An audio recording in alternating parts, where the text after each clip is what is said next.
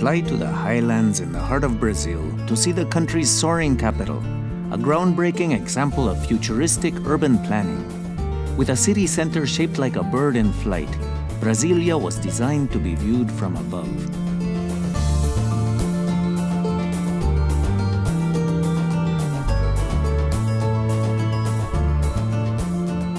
Come and explore this inspirational hub of cutting-edge architecture.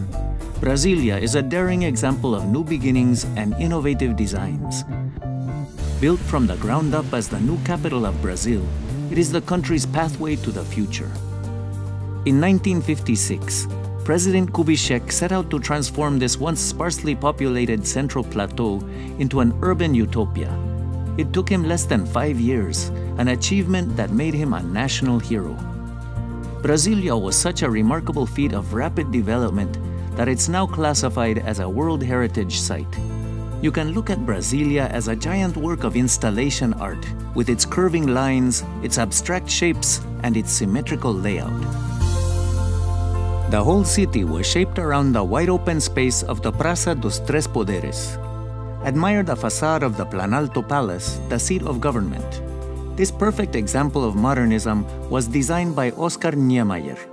The prolific Brazilian architect dreamt up a wealth of elegant buildings for the new city.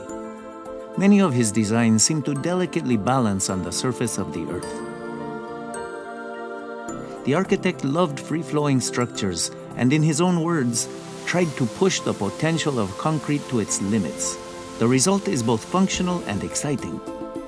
You'll find that there is a harmony in every element of the city, from its layout to the architecture of its official buildings. Take the monumental axis. Its avenues run parallel, creating order, but the space is filled with the most contrasting shapes imaginable, like an abstract painting on this once blank canvas. The energy of Niemeyer's creations comes pouring out of the Ministry of Justice, flows past the National Museum, and comes right through the huge Itamaraty Palace. Squint your eyes and you can almost see this energy spiral upwards in the bright halls of the National Theatre.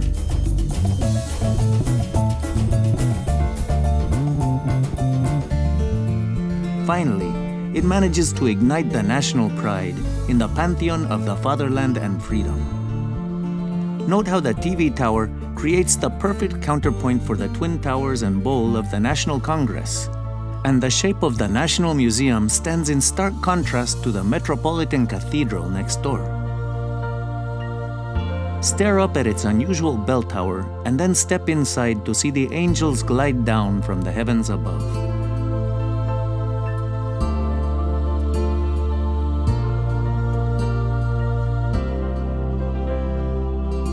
You can see why Niemeyer received architecture's highest award for this heavenly design. With 2.8 million people, Brasilia is a bustling city, and it's best to make your way around by taxi or rental car. You can escape the crowds in the Don Bosco Sanctuary. Bosco was an Italian saint who, all the way back in the 19th century, had already predicted a futuristic city in this part of the New World, just like the one that Niemeyer created.